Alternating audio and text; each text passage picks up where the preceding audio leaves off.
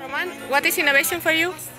Innovation for me is basically driving the right consumer and customer benefits to an actual product, to the market, and then ultimately finding the, the white space where our company can, can excel at um, um, solving a problem in a new way for our customers.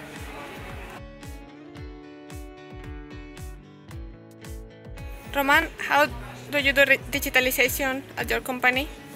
It's basically threefold. Uh, one is basically the, the, focusing on driving digitization, so basically digitalizing processes.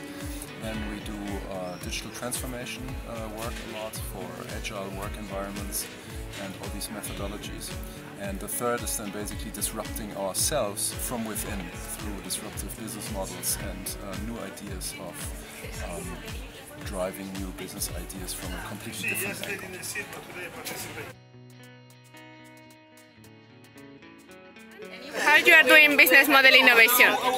Well, actually, as uh, Alexander Osterwalder presented uh, at the um, opening session, uh, we use a lot the business model canvas actually, also with refinements from my friend Henning Breuer, yeah, who also has his uh, playing cards and his uh, board game there. So this is always very helpful when we do workshops around business model.